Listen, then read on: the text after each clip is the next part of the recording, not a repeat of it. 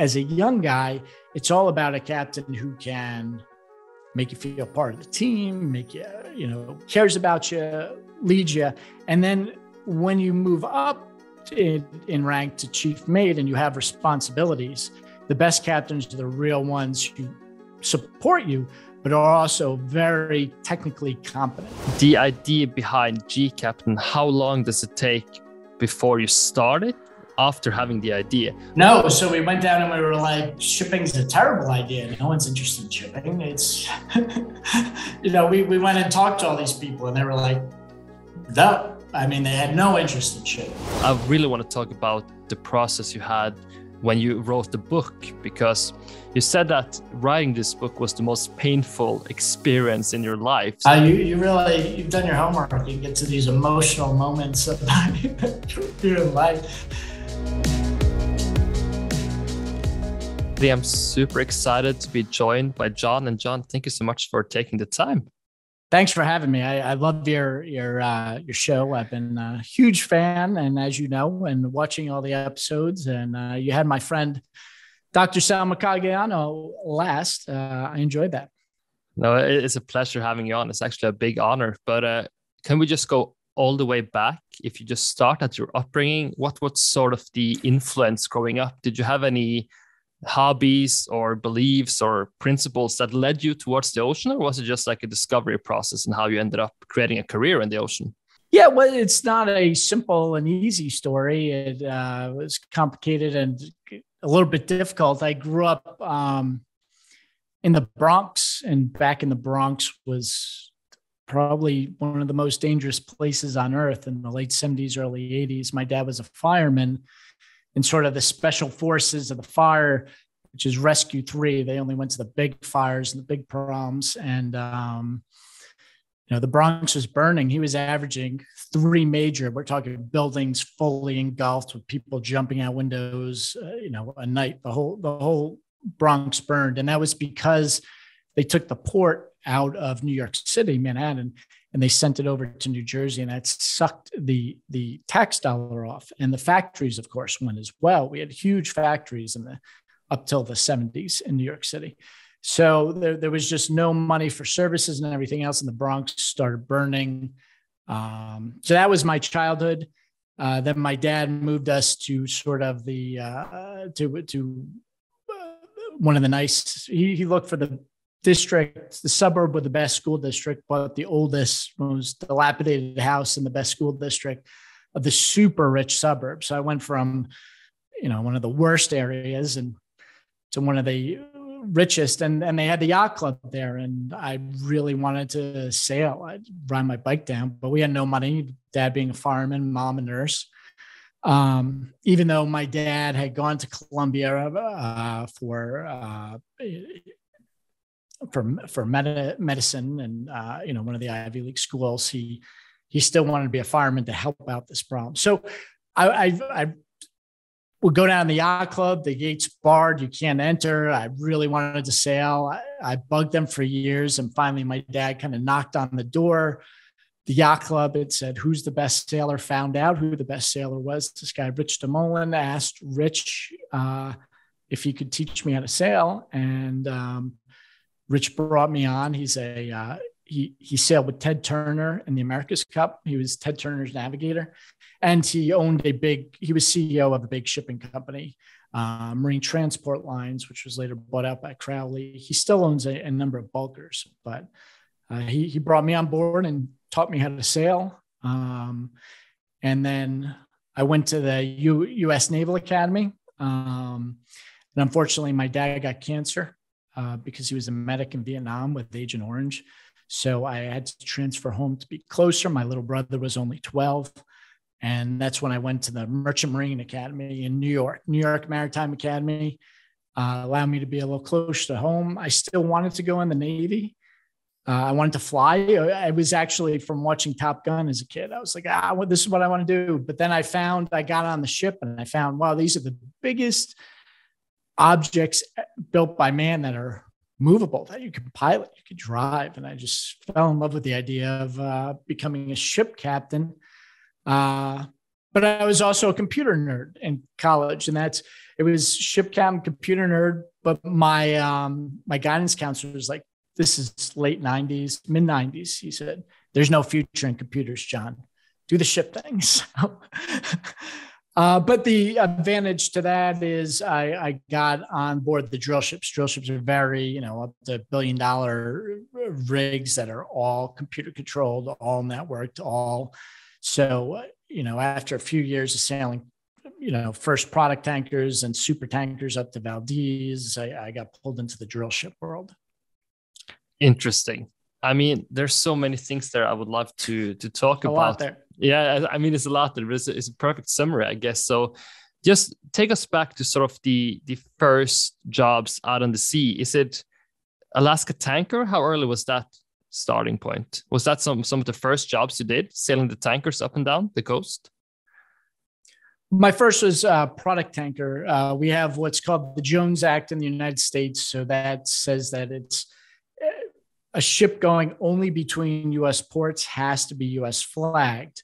But and has to be built and crewed by Americans. But it's extremely expensive to build a new ship. It's four to five times the cost of building in, say, Korea. So no one builds new ships here. So the American fleet is really old down, run down. Um, but it gave me the opportunity, this old rust bucket of a product tanker running between Houston and New York and Boston, and back with the old valves, and you had a chalkboard where you had to gauge with the uh, with the tape, and uh, we did have IG system. And it's funny because everything's relative. When I got off, my relief came on, and there were only two states in the U.S. that allow non IG, so where you don't have to reclaim your gas, you know, open ullaging. And um, he was on one of those, and I was telling him, "Oh, we got the tape and we got the chalkboard, and we do things the old school." He's like, you got an IG system, you got a gas system. This is great. Like he was so excited to be on a modern ship. Meanwhile, you know, the international fleet by then, or 2000, had really gone to digital uh, ullaging and you know push button controls from a control room. So everything's relative, right? Definitely. In all those different experiences, where do you feel like you had the steepest learning curve? That was probably it. The first one, you know, you just brand new on, uh, you know, and, and the pollution laws are crazy in the U.S. So you have to be extremely careful of of what you're doing, right? Um, but I've always been very, I guess, willing to ask questions to get the captain involved. Uh, so my pulling into Baytown, I remember the first time in Houston, you know, you had this huge refinery that just goes on for acres and you get a big pipe connected to the ship in your header and they tell you if anything goes wrong here's the big shutdown button. And on the on the top of a tanker you have two lights. You have a um, a yellow light and a red light. And when the when the tank gets pressed up when it gets to like 10% the yellow light goes off and you get a little alarm. And then when it gets to 5% the red light gets goes on and then you got the big sirens and the and the ship's horn starts to warn everyone like you're about to have an oil spill. So the chief made hands off to me my very first watch. I'm standing there i'm all nervous. You got the abs you're watching these tank levels and the chief mate goes well before you right after you start you're supposed to test these alarms but he never told me. So he goes in and to test these alarms, he turns on the yellow and he turns on the red. And suddenly they're going, woo, woo.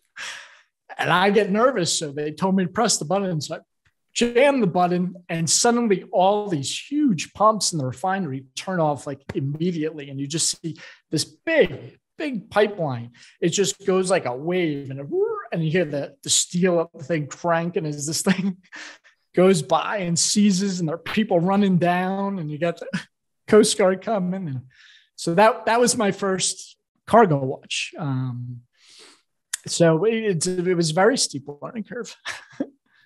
Definitely. I mean, so, some of the things that I'm fascinating about learning more about is these the differences between being sort of a, an employee on land versus you know being out there in the oceans because the hierarchy is so different, right? Because once you're in the vessel, like there are very strict sort of social orders and rules, right? So how about you describe sort of the social hierarchy on a vessel and what is the, the pros of that process versus the cons? Because we all seen some of documentaries where you see sort of what can go wrong once you don't feel like you have sort of the the right position to to to sort of say against you know the captain's orders right because there is a very strong hierarchy on board ships right so it's it's changed dramatically when i you know was first on that oil tanker it was six dollar a minute phone calls and um, no internet no anything you know you had a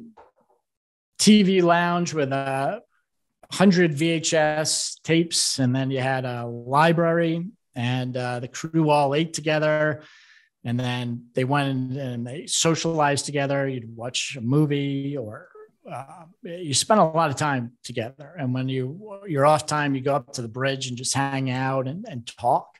Um, then I went on the drill ships. Uh, so there's a billion dollar ships that had fairly high speed internet and you could connect with home. And now it's like, wow, this is completely different because I used to used to go out for months at a time. And at six dollars a minute, your family would only call if something, you know, someone had died or got sick or something bad. So you were always kind of fearful of that phone call. But then you had the whole crew to, to go around you. But suddenly you're on the drill ship, you got you know, texting, you got internet, you got everything else. And then when people are done work, they're going into their cabin, they're playing video games, they're on their devices. Uh, and also, you know, we had meetings with the short twice a day. So you'd have these Skype meetings, and it's not just, you know, suddenly you're answering for sure, and they don't understand the difficulties that you have on board ship. They're always asking you to do things. So it's it's changed dramatically, but um, you know, better connection to your family.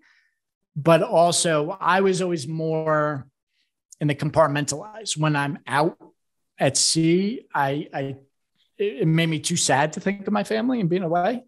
Uh, so I, I didn't connect very well. And when I'm home, I'm very present. I didn't connect. Some guys continuously connect with the ship and bring some manuals to work on or something home. I didn't. I I really segmented those lives. But then once you have this internet and technology, you're pulled into all the problems. Your son, you know, failed this test grade, or your your, your nephew got in a car accident. He's okay, but he's in the hospital. These things. Um, so it's led to, you know, a real a lot of stress on mariners now, where it used to be guys went out to sea to get away from all of this, right? And that's part of the reason I was able to jump up so high because I knew these computers where most people went to sea because they were they wanted to get away from the technology. But now it's inescapable. Definitely. Talking a bit about leadership and yourself being a captain, what do you think separates a good captain from or separates a great captain from a good captain on board? Well, it's interesting. I thought about this a lot because I was lucky. My first six captains were excellent. I mean, the the absolute best captains. And then the next captain I had, he got his license in a way that wasn't legal, and he was attacked by pirates. Um, and and part of the reason he was attacked by pirates was because he treated his crew so bad. The crew kind of let the pirates on off Nigeria. But then the the company kind of to reward him for this pirate put him in charge, even though he didn't have an unlimited license. He was used to smaller ships. Uh, they arranged for him to get a flag of convenience, unlimited, and be captain. So we went from a very small ship to the captain of this big, expensive, multi, you know, uh, billion dollar operation. And then he was just absolutely horrible. Um, and then uh, captains afterwards, some were really good, some were bad. But what I realized looking back is those initial captains you know, some of them had issues, um, but you're so new, you don't realize their faults and deficiencies. So, as a young guy, it's all about a captain who can make you feel part of the team, make you, you know, cares about you, leads you. And then when you move up in, in rank to chief mate and you have responsibilities, the best captains are the real ones who support you, but are also very technically competent. That you can go to them with problems and hopefully they will know more than you do. But that's not the case. So you're kind of almost ignorance is bliss as a young cadet coming out, and you just want someone who's going to keep you safe and, you know, keep an eye out for you and help you with your job. But as ships get more difficult or you know there are more technical issues you really want someone who's got that leadership abilities can connect with the crew motivate the crew and has that technical expertise and i found the guys who are nice and have, if you listen real well if you listen to your crew if you're engaged in what they're doing especially on the larger ships like drill ships I really struggled until I got interested. Uh, on the tankers, I got I struggled until I was interested in engineering. You know, there was always this friction with the engine room. And then one day I said, "Man, these engines are huge. Let me go to." And, the, and it was like the scene of Fight Club, like "Go away, we don't want you." But as you show interest, you get excited and you learn about it. Teach you new things, and your expertise goes up. And then you you get the engine room, and suddenly you can do things you can't. And I had to relearn that on drill ships. Hey, teach me about this at drilling. We're too busy to teach. Well, I'm going to sit here and learn anyway um, during my off time. So, being able to listen, empathize, stand up for your guys, and really that that technical knowledge is important. That's a great, great summary. Uh, I found a quote that you also have mentioned before, but I just want to read it out loud because I felt it was super good. That the sea is selective, slow at recognition of effort and aptitude, but fast in sinking of the unfit. Is that sort of the yes. perfect quote from Felix Riesenberg talking about sort of the oceans and how, yeah, basically just summarizing how you need to or how the oceans treat you if you're not suited for it, basically. Right.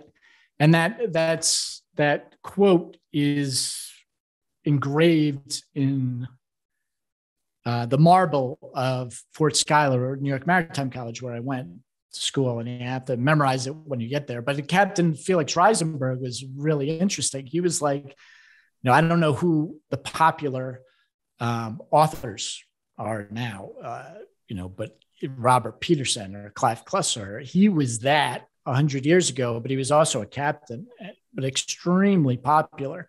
But you know, the the the average public loves sea stories. You had Felix Conrad, you had became more famous, but there was a real desire for this literature. Um, and it's mostly been forgotten. We had to memorize that quote, but we were never told to read any of his books in college. Uh, actually Sal Mercogliano who's to read one of his books. I'm like, this is this is a really great book. But that quote is important because um, said a good leader also has to have that knowledge. And I think we're focused a lot on you have all these happiness and leadership that are really on the soft side, but they're not really focused on the deep technical knowledge. Other thing is, you know, a lot of people specialize now. So the closest calls in my career have all been for mechanic drill ship who had never been on a tanker, never been on a container ship, never been, you know, you don't go in an anchor very much. So when they did, they were in trouble, you know. So kind of, you know, learning a diversity of skills is important. And that's what Felix Riesenberg is saying. If, if you don't have that technical competence, if you don't at least have the learning in these different areas, you're going to see a situation that's you're going to get in trouble and the, the ocean doesn't care right? It doesn't care if you live or die. It's completely apathetic. What's what's the opposite of love? People think it's hate it's not it's apathy. The if you if a if a woman hates you you can almost turn that into love. Uh, you know if if you pursue her and you're nice and you're kind but if she wants nothing to do with you you're on your own, right? And that's I think the lesson of Felix Riesenberg is the the the ocean is beautiful and majestic, and we think it's there to help us, but it's it's really completely apathetic. It's it's it's going to challenge you at the worst times, and if you don't have that knowledge, it will it will it will kill you, right? But but the next subject I, I want to take up was the the idea of gCaptain. What was the idea behind it? Because you was you talked a bit about your interest in computer science, but I guess it's also fair to say that you had an interest in entrepreneurship, new things going on, because there's also a great story of how you sort of was a, a early social influencer on a Kevin Rose network. So you obviously had several interests, right? So how did this all end up and you started to start your own companies? Well, if we go back a little bit, um, I got pulled into the drill ship world, which is, you know, phenomenally different from the, you know, just basic tankers. And um, I got pulled into India. Uh, there was these brothers, the Ambani brothers, uh, Mukesh and Anil had um, poured all of their family money into building this refinery, which everyone said would be absolutely impossible because in India, there's just huge layers of bureaucracy. You know, if you think the US or Europe is bad, it's built something like a refinery is impossible in India, but they did it. They did it. And then, but they didn't have anything to put into the refinery, oil and natural gas. So they hired this drill ship, uh, but they hired an old one because they couldn't afford it. They only had six months runway. They literally put all the money they had into getting this drill ship over, and the computer systems didn't work. So they hired me to to go on, you know, on this drill ship, and um, they promoted me even before I had my license to chief mate. And then uh, we found four trillion cubic feet of natural gas. It was the biggest find in the world. It was Guinness Book World Record. So they were extremely happy. And now when you land in Mumbai, uh, the biggest skyscraper is theirs. And it's not Reliance's office, it's their private mansion. That's where they the family lives, the skyscraper. That's how wealthy. Uh, but but they told me like, oh, if we were American, we'd move to Silicon Valley. This is this is entrepreneurship. So I was really inspired by their story. And you know, a lot of the tech companies now in America are, are run by by Indians. They've really taken over the C-level thing. So I got some introductions and I went there. And also, you remember I had one of the very few ships with the internet uh, being on this drill ship. So I was in the middle of Mumbai there are long periods that you had nothing to do, but uh, it, the internet was slow. So Kevin Rose came out with the first social media network uh, before Facebook or anything else. And you could vote up news stories. So I could go there and I could, these are the top 10 stories. I click on the New York Times, it would take a while to load instead of browsing through headlines. It was voted. So during my off time, I started helping him post stories because I was so appreciative when I was on the ship of this thing. And, uh, you know, he invited me in. We were called, uh, uh, we weren't influencers, uh, power users, I think they called us, I forget. and he was like, oh, the power users provide over 90% of the uh, content. It's the Pareto principle, you know, that 10% of the people provide 90% of the content. So I, I, thought, you know, there may be a dozens of us, but there were there were three of us, right? The three super users were doing most of the content for the site. Um, but he kind of convinced me to, to start our ski network. And then I became very good friends with the chief operating officer of Facebook and some Twitter guys and that. Um, so I got involved and, you know, there were, I already thought I missed the, the, blogging window because there's so many great blogs at the time. Um, but you know, this was back when you had to get a server and, and go to Austin, put the server in the rack and, and compute it. Now you could just hit a WordPress site and you've got a new site. Um, but that's that's sort of how we got started. Interesting. So the idea behind gCaptain, how long does it take before you started after having the idea? Was it like you instantaneously knew that, okay, I'm just going to start gCaptain, or did you have a long thought process about, okay, what's going to be the niche, the target group, how I'm going to build it? Or was it just like, let's just start and just build it from there and bootstrap it? No, so we went down and we were like, shipping's a terrible idea. No one's interested in shipping. It's, you know, we, we went and talked to all these people and they were like, no, I mean, they had no interest in shipping. Um, because shipping has kind of been blind. Like I said, in my childhood, the ships used to be in Manhattan, right? Everyone saw them, and then they got moved to Newark, and San, they were in San Francisco, and then they got to Oakland. So my generation hasn't seen ships, and we're very disconnected in America from shipping. We have this problem called sea blindness. So I mean, they had I can't even tell you how little interest. Plus, there's this negative connotation because we had the Exxon Valdez spill in uh, 1990. So not only, but they think it's dirty and ugly, you know. So a lot of these venture capitalists remember the Exxon Valdez, that's their pinpoint. And they, they invest a lot of money in farm to table clamming and whale research and everything else, but they really had a bad taste about shipping. So it was a, it was a hard no.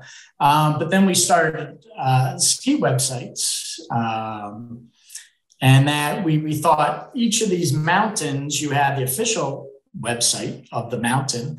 And um, then you had a, another website that kind of tried to sell you condos and vacation homes, hotels, but wasn't real news. I said we we want to we want a site for the skiers, like but very specific. So we started building these websites for each individual ski resort, and we raised six million dollars, just a flood of venture capital money. And suddenly we, we were doing movies and we are flying to all the continents. We had Olympic skiers on our team. It was it was it was pretty insane and, and connected in with some of the biggest blogs and news sites at the time, uh, the Gawkers, the Gizmodos. Uh, we were doing partnership and heliskis and we, we did a movie. Uh, I was telling you offline, you know, these, these Pit Viper glasses here you know, it was started by Chuck Mumford, who was one of our first pro skiers, and we did the movie Nar, and he he was the star of it, and then went to do this. So it was a lot of money. It was like early Chris Sacca, who's um, one of the most famous investors. He's Shark Tank, one of the original Shark Tank. He was he was living right by the ski, so made a lot of introductions, and it was easy. But then you know the, the snow melts in the summer, and I was like well, we already have the server. I've already installed it. I've already coded it. I've already done all this work. You know, let me let me try a maritime news site, gCaptain. And no one read it at first, but this big bulk ship ran aground in Australia.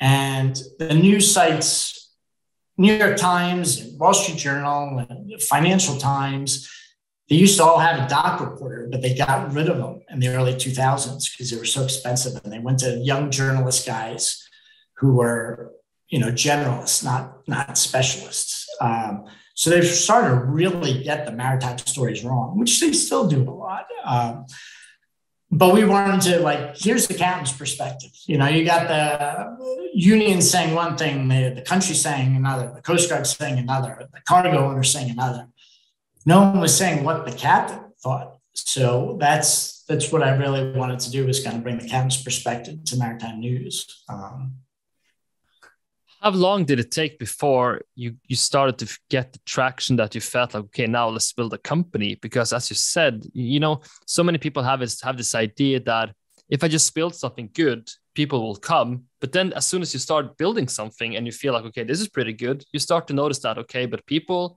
aren't waking up a day searching for a new newspaper. You have to sort of force it to be as good that you create this a momentum, right? So it's interesting that you say that, you know, I think this was uh, so, a point that Sal also mentioned in, in the previous podcast that sort of like you get this big accident or big, like suddenly all eyes are on a subject.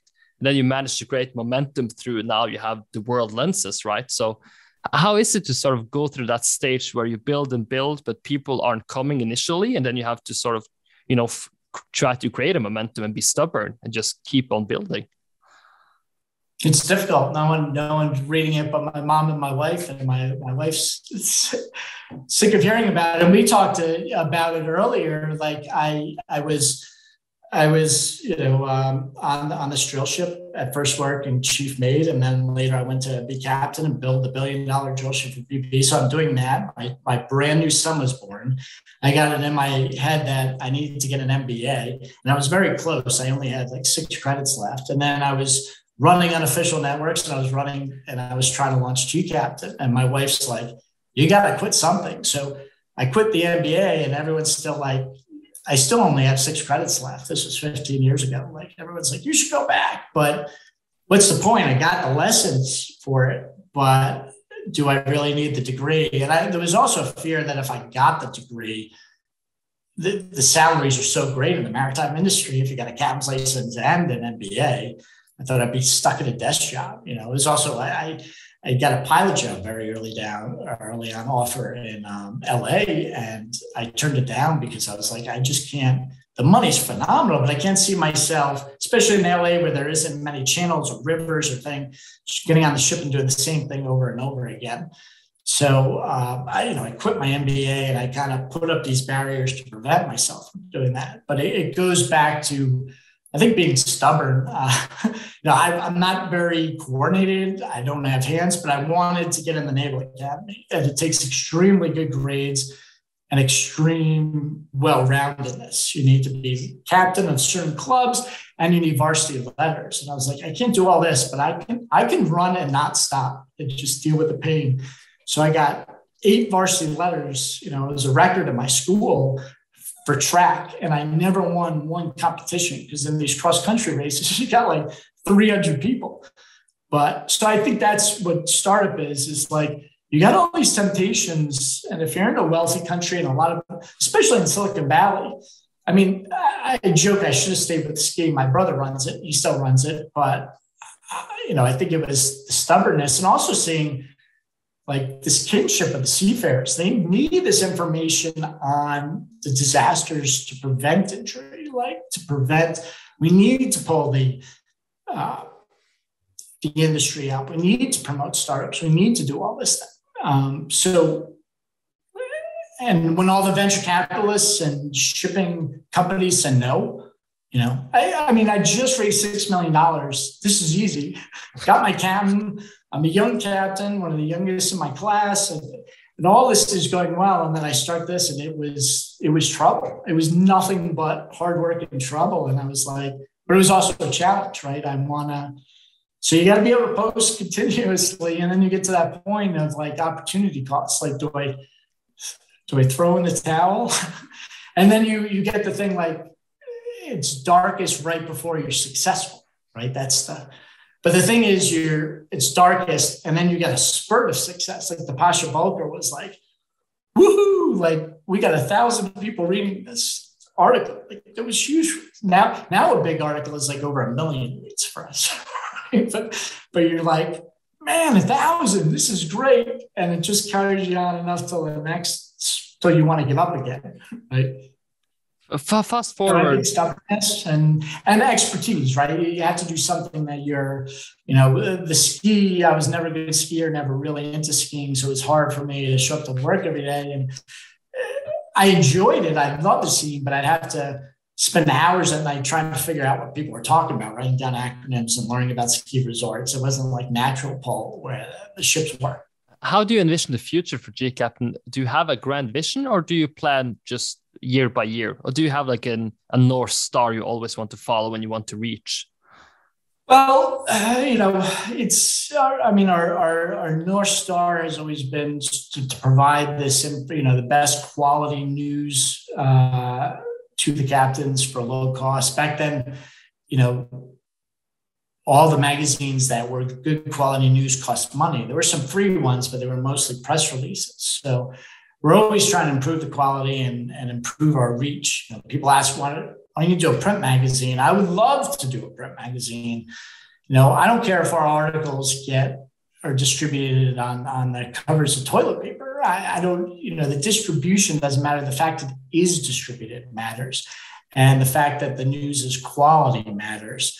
Um, so other people are posting, you know, now, now, like I said, it's easy to create a, a news website. Uh, and we have a lot of competition that's free now, but we want to we want to provide the, the we're not necessarily the first we're not but we want to be quality news. So um, and and you think the shipping industry has been that's the other thing. In 2008 we almost lost the business. Everything collapsed. We lost every advertiser in a period of week. And now it's only like we're only starting to be really profitable again now that shipping is making some serious money. So, uh, you know, we, we, we're doing, planning a lot of new ideas as well, too. But uh, we're also looking, you know, we always want to promote people like you or were at the at the crux of uh, the industry and learning new things. And you know, there, there's a lot more work than just UCAP can do. We, we need people like you. We need people like Sal. We need ship owners who are writing and participating. And uh, we, we need to open up this industry. I couldn't agree more. Just talking about when once we're talking about quality writing, and I also, you know, I really want to talk about the process you had when you wrote the book because you said that writing this book was the most painful experience in your life so we need to spend some minutes on that so i think it's just fascinating to to hear again the uh, initial idea and how you went about writing this story that is well known but I, I will let you introduce it because you will introduce the best uh, you, you really you've done your homework you get to these emotional moments about your life um, I, I had worked for Transocean. I had been um, on board. I had been offered the, the job, uh, the captain job on the Deepwater Horizon. My my buddy uh, Curt was the captain, and one of my best friends uh, on, the rig that exploded was Chief Mate Dave Young, who was one of my best friends in college. I I gotten him the job at Transocean. Um, so, but then we we had five fires on on my ship, um, and I, I, I, I blew the whistle. I called the Coast Guard. I told them I, I did everything I can to. So this is this is not going to end well. And I was blackballed from the industry. I was, I was uh, fired from the company. Uh, they sent out a letter to, to all the employees, kind of suggesting that I had caused some of these fires. Um, it, it, was a really difficult moment um, in my life.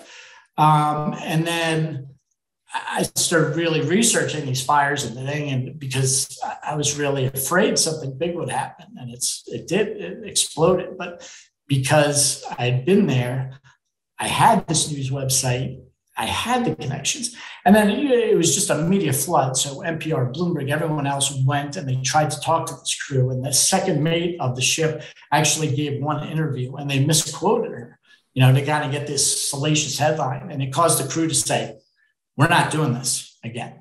So it, it started just blog posts. And I told the captain, I, I actually gave him the administrative password of gCaptain. I said, if there's anything you don't like, here's the button you can crash the website and delete everything. My whole business will be gone. Um, but I want to get the story out there because I think it's important. I'm going to help save lives. So I was the only news outlet in the world to have access to these guys. I also had access to the Coast Guard. I had guys in the company in BP who knew I quit. Not, not my company, but other companies who were feeding me info. Um, so, uh, and then New York Times and everyone else came to me and they were asking me at the trial to help them with the story. Uh, so the, the head investigative reporter at NPR was like, I want you to write a book. I said, okay, but I'm not a great writer. He said, we could find you someone. So we found the editor in chief of the Washington Post magazine, Tom Shroder. And it was like a master's degree. I'd write these horrible chapters and then he'd clean it up and tell me what I had to rewrite. Right. So it was, um, that was the story. But I'm doing these interview with a crew who lost, people died. And it was, it's emotionally difficult process, but I felt important definitely. Just going through that project and writing about it such in depth and talking to the crew what do you think are the biggest lessons you you sit with afterwards after ending such a project and sort of gathering everything and writing it releasing it and sort of reflecting on it? What do you think are the biggest lessons you you sit back with? Well i don't know if you i think you have been on twitter and i'm you know we're we're finally we're finally the the uh, market share. Of, I, we're finally profitable, and all our profit comes from commercial. Uh, but we had this huge network of think tanks and war colleges and around the world. Every Ivy League school, like Princeton, Harvard, have these buildings that are devoted to like naval and military science, right? But not one of them has a. And, and we're learning from Russia that, you know, we knew before, but generals win battles logistics wins wars. and you know, I've added another one, sea lift, the movement of on the oceans, because 90% of everything goes in the ocean. That, that's what wins empires. And we've forgotten about that. So in all of these think tanks, there's no ship captain at the Pentagon, commercial ship captain. They're Navy captains. They're none at Princeton. They're not. So we have billions of dollars being spent on these naval tactics, but none on commercial. And the ships are now encountering mines. They're encountering um, uh, you know, China is ramping up tensions. They just said countries we don't like can't go through the Taiwan Strait, and they have 100 more Navy ships than the US Navy. I'm not trying to be anti China, but I'm seeing now what I saw at Transocean. Transocean, when they got bigger, they went away from the operational expertise and the captains and started going into the drill and they started hiring Harvard guys, right, to who were management processes and all these things. And they forgot the well, we need to get the ship on location and get the drill bit running without killing anyone. And the Navy has forgotten about that. So I've been very focused on the Navy, and especially my European viewers are like, John, what are you doing here? But I see the same lessons from the, Deepwater Horizon. Well, there are mines and anti ship missiles, and China's giving military training to their hundreds of thousands of mariners like and we're not focused on no one's talking to the captain so that's that's why my focus is now so i have a real we, we kind of learned that offshore but you know it's it's it's it's like the dutch kid with the with the dams. Every time we we find some plug a hole another one pops up right yeah, so true. I, I don't know if that answered your question. No, no, no, no. But it's interesting because it's a good segue because I, I did some research, of course, uh, and, and, you're quoted here saying that we avoid disagreement and debates about the uncomfortable truths in shipping. And I think one of the excellent jobs you do is sort of put a spotlight on things that necessarily doesn't get out there, doesn't get the attention. Because just picking up your last point now, there seems to be some big fundamental shifts going on in sort of who is in the control of the ocean, right? And that affects everybody because trading and shipping is a global industry. So it, it affects everyone, right? So just maybe adding on your first question, is this sort of one of the things that we're not good enough talking about and getting at least a debate about? Because it, one case could be like, okay, is US better than China, of course, but that's subjective, I guess. But it's just about having the debate and truly understanding how the new sort of world order could look from a naval perspective, of course. Yeah, commercial is important too. Um, you know, Biden just came out on Friday and said, blame the, the biggest shipping companies. said, uh, the president of the United States says, I want to punch you in the face. And, and he gave some wrong statistics. You know, so he's being fed wrong information, and the, and the European shipping giants are being like, well, this guy's wrong. And they're trying to like attack him on the factual end, right? But what I've learned is a lot of this is emotional and a lot of it's listening. Um, no one of the ship owners have come. We have DOT, the Maritime Administration, you know, the CEO of Maersk, the, the CEO of uh, CGM, CMA, these guys have not come and talked to the Maritime Administration. See, we, we had this thing, we had this agreement after World War II, and the United States basically said, we're going to protect all the world's oceans, and we're going to protect against Russia and China. Um, and we're going to open up our markets for you. So you can come in, and we're not going to charge anything for it. Uh, the only thing you have to do is you have to do all your denominations in the dollar uh, so we can control and monitor. But I mean, that's look at our biggest enemies, Japan and, and, and Germany became these super powerhouses and the people who accepted this offer first. But being the police of the world, it's you know one of the thing hypocrisy is a is a core asset of people.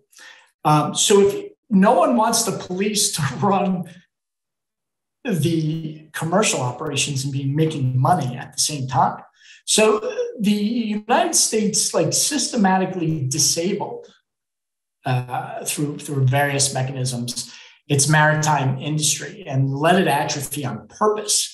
Uh, but retained a lot of the power. You know, the biggest flags of convenience, the top three, Panama, Liberia, and Marshall Islands, are in North America on, uh, you know, American or former American soil. You have America was number 10 for finance. Now it's number two. You have huge investments in our competitor FreightWaves raised $90 million.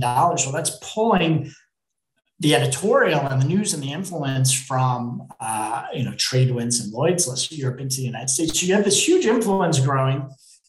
And gCaptain too has some frustrations with this, and European ship owners, why are you why are you letting your ships be stuck in Mariupol and Odessa? So this is almost brewing aggravation, and it can easily be solved if the ship owners came here and listened. But they're American merchant marine has been so dead for so long. They're like, it's almost a joke. Like, why would we go over there? Like, what we is it? Why, why would go over there and listen to you? Have no shipping companies. You, but you failed, right? But it was almost a systematic. So if you don't go and visit someone, if you don't go on their shores and meet with them, of course that's going to open, you know, when there's a politician you know, you have all these billions of dollars of lobbyists and everything else, but also personal relationships. You know, everyone's attacking the FMC. Well, they haven't mapped out the influence of the American political network. The FMC is an independent body. Biden does not get his facts from the FMC, he gets it from the Maritime Administration. What, so, why is Biden picking on you? Why is he going with this false information? Why? It's because when I went back to that, what's leadership? It's listening, it's meeting with your crew empathetically, and it's core institutional knowledge.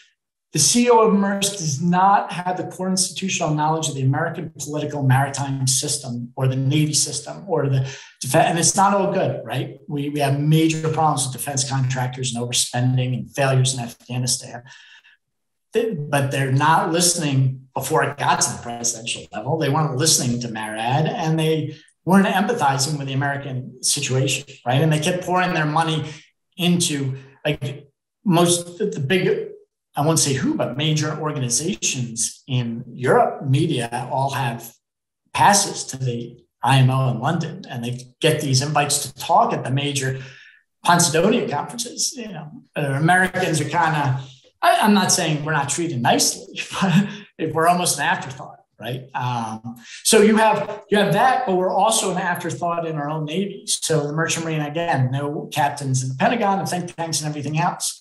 So there's a very small contingent that now has number one in finance, number one control over IMO through flags of convenience, number growing media, gCaptain freight waves, and you know, Silicon Valley tech is enormous. Flexport's a multi-billion dollar company. So you got all this power struggle and thing, and the Europeans aren't listening to us, and it's starting to explode. And even after Biden, I mean, literally the president said, I want to punch you in the face, Maersk.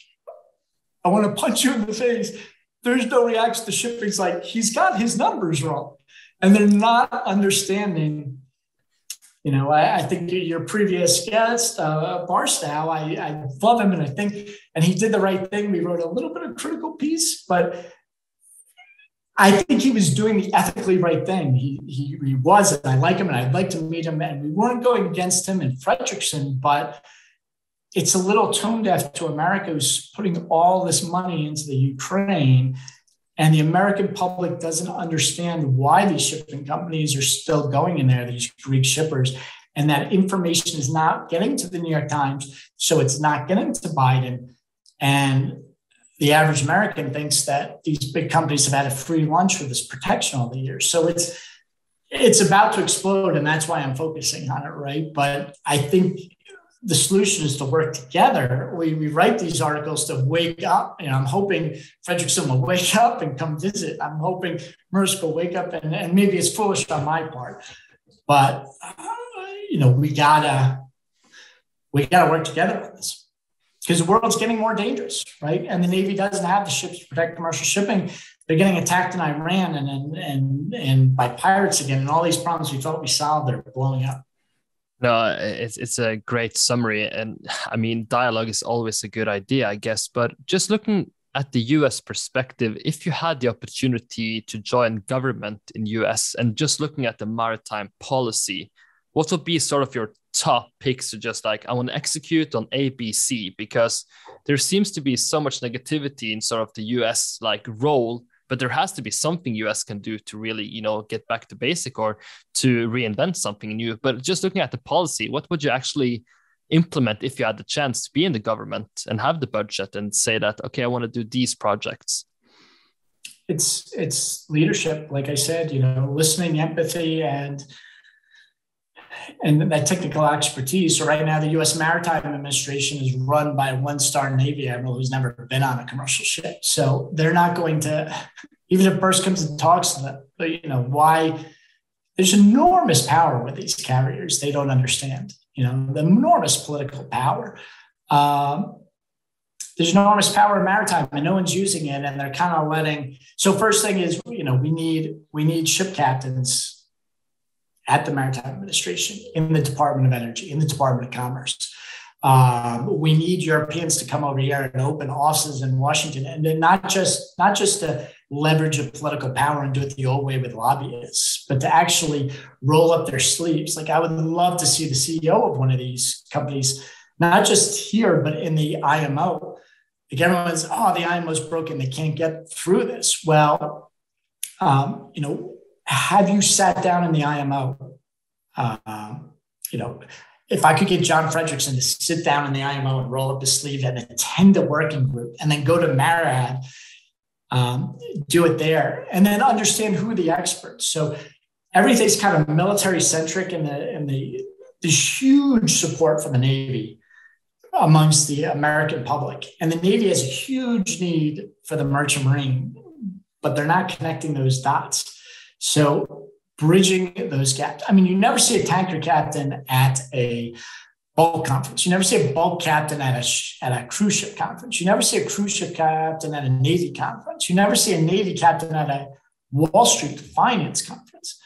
Um, each year, I try to learn a different segment of the industry so I can help tie these together. But we've silo, you know, everything's siloed, but we have to bring it together, and that can only come from you know, I can write articles to get people angry and get mad or, or upset or try to do the emotional, but it's going to have to come from the guys who have the influence and the money. Uh, uh, you know, the CEOs of, of these companies and rock stars um, uh, of the of the European because we don't have that in the U.S. Right? No, definitely, definitely. I think you're probably going to get me in trouble for publishing some of it. because it's an emotional topic. And it, the other thing is, it sounds really arrogant, like from an American. Well, you your your maritime industry has failed, John. it took you 15 years to build what FreightWaves is building in a couple months. Who raised 90 million for. You know, your failure in Afghanistan over 20 years. All these admirals who are telling us what to do were the guys who you know failed in Afghanistan. So, so what do you know? And I think Americans also have to be humble and realize we don't have the answers. You know, no one has the answers. It's bringing the community together and understanding who has the influence, who has those levers that can be pulled to make ships safe. Because that's at the end of the day. I'm doing this because I don't want to see those cargo ships in the Black Sea hitting mines. I don't want the Atlantic just said 40 million people are facing famine because we can't get grain ships out of the Ukraine. Like, forget everything else. The CEOs of all these companies and come and meet with MARAD and the Navy and NATO and, and figure out that, right? And no one's doing it because the Navy kind of says, oh, that's commercial. The commercial guy goes, that's Navy, and no one's picking up the ball. No, it's uh, it's it's actually uh, a great summary and also a, good ending. I think uh, we'll end there, John. It was a pleasure and it was a big honor to have you on. So thank you so much for taking the time. Excellent. Thank you so much. I'm, I'm, I love your show and I wish I had time uh, to ask you some questions because I, I have a million of them and I hope everyone goes back and listens to these other episodes. They're they're they're phenomenal. I've I've learned a lot. And talk about desiloing the industry. I mean, they, from the from the fish farming to the bulkers to tanker guys. I mean, you're really covering a lot. I think it's a big service to the industry, and uh, I want to thank you. and and the, the youthful energy is just amazing. Thank you so much. Thank you so much.